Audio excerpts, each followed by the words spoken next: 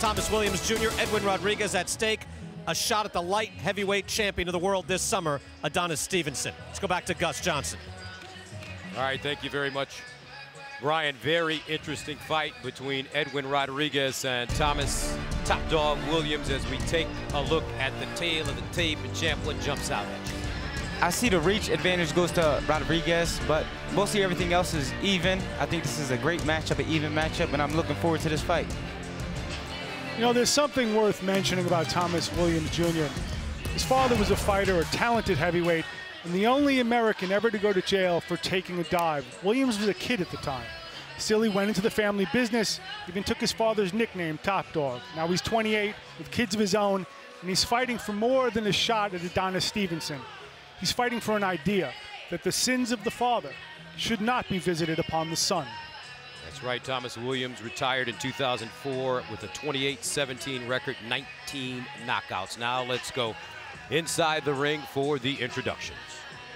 Live on Fox from StubHub Center, Premier Boxing Champions now features 10 rounds in the light heavyweight division.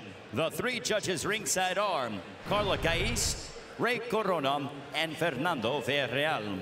And the referee in charge, when the bell sounds, Wayne Hedgpeth.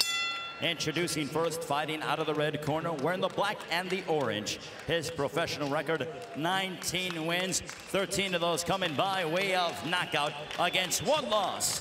Fighting out of Laurel, Maryland. Ladies and gentlemen, here is Thomas Top Dog Williams Jr. Across the ring, his opponent fighting out of the blue corner, wearing the red, silver, and blue. As a professional, 28 wins, 19 of those coming by way of KO against one defeat. Fighting out of Worcester, Massachusetts by way of the Dominican Republic. He is the former title challenger, Edwin La Bomba Rodriguez. Thomas Williams coming off a second round TKO against Humberto Savigne in Biloxi as well. Round one. 175 pound light heavyweights. This one could be electric. Just like our first fight of the evening. Danny hit on something before. Rodriguez has a, a four-inch reach advantage. His trainer, Ronnie Shields, told me as long as he keeps his distance, he'll be okay. Both fighters coming out with thunder. Aiming big shots right here near the ropes. Rodriguez wants to come forward. He will turn 31 years old five days from today. Big uppercut landed right hand connecting for top dog William. Both fighters loading up big. Rodriguez predicted this would go three or four rounds. Williams said, if not sooner. I don't think it's a good idea to come out in the first round and load up with big shots because both fighters are real strong. You want to go in there and set your opponent up. You don't want to go in there throwing bombs and get hit with a big shot in exchange in the first round. I understand, but that's what these guys are. They're hitters. That's why they're here. No doubt. There's a big canopy right hand by Williams. Rodriguez going to the body. Williams is a converted southpaw as well, just like Lara we saw in the previous fight. Sometimes he gets so eager to throw, he squares up. He lunges in a little bit, gives away his distance, gets hit. Rodriguez with only one loss in his career to Andre Ward, a decision back in 2013. Had trouble making 168, so moved up to 175. He's been very successful at 175. No problem with the weight. Each fighter exchanging big shots on right hand, and that hurt Rodriguez by Williams. Both of these guys are throwing those big shots, make themselves vulnerable. Exactly what I was saying. That's, you know, a smart fighter doesn't come out throwing bombs in the first round, but this is what the fans want to see. They want to see a knockout, and both fighters understand that, and they want to go in there and show the crowd what they can do. Great crowd here at the StubHub Center in Dale, California. Now Rodriguez will tie up Thomas Williams. Scheduled for 10 rounds. Here's another right hand by Williams. As he moves in now and serves as the aggressor against Rodriguez. Williams landing the big right hook, stepping in with his guard up. Rodriguez has to be careful with that counter right hook.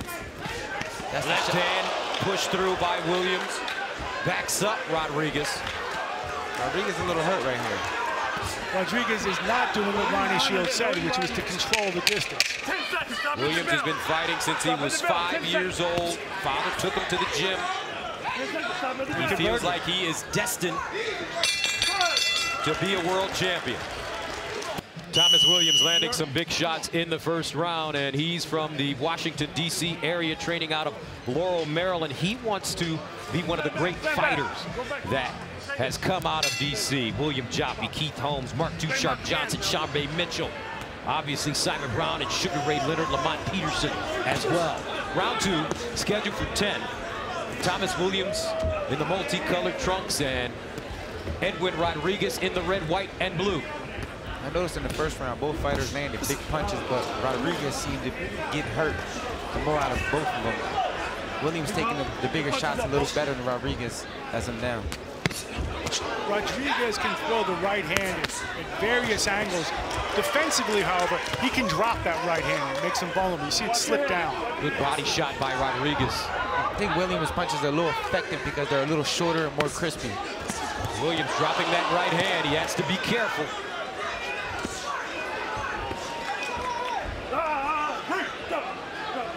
Both these fighters very aggressive in the early rounds.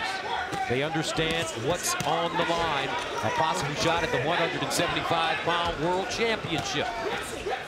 The winner of this fight will get an opportunity. Both fighters trying to look impressive. They really want to be world champions. They're trying to impress the crowd and all the viewers around the world and show them that they can fight. That right hand Right got hand. through. Another right hand for Rodriguez. And Williams is hurt. Wow. He smiles. Oh, big right hand, left hand by Williams as he counters. Rodriguez was able to do that. He controlled the distance and put him on the end of that straight right hand. He can throw a variety of right hands. Williams very wide with his punches. Now Rodriguez. Both fighters throwing bombs. Left hand for Rodriguez. Both fighters looking winded here. I can tell you one thing, this ain't going to the distance. Right hand to the body by Rodriguez. He goes downstairs again, measuring. There's that right hand again. Wild punches by Williams. He could get caught with something tragic. He's open as he throws those shots. He's a little hurt. I think he's fighting a little bit off instincts right now, more than skill. You see that right hand, Rodriguez throws it coming up, straight. He can throw it coming down, too. Another straight right.